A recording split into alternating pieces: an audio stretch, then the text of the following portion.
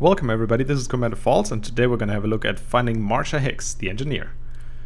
First of all, we're going to uh, zoom out and look at the map a bit because we want to go to the Tir system. I've already flown there, but uh, yeah, you need to travel about 20,000 light years.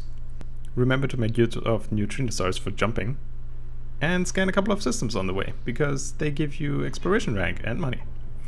Now, the planetary approach you should have practiced before because uh, Marsha Hicks is at an outpost called the Watchtower.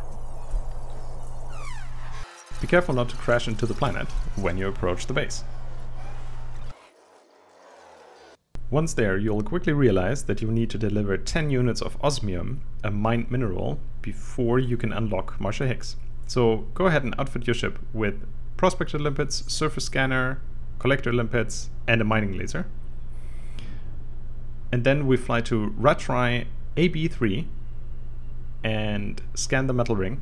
I'm flying into a hotspot, but you don't need to.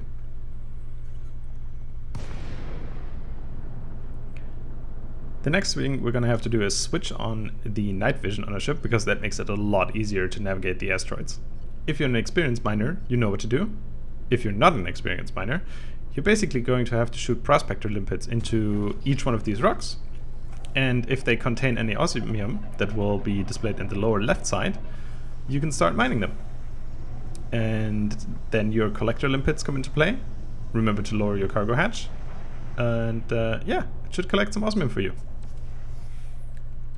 If you want to know more about mining, there's also a deep core mining tutorial.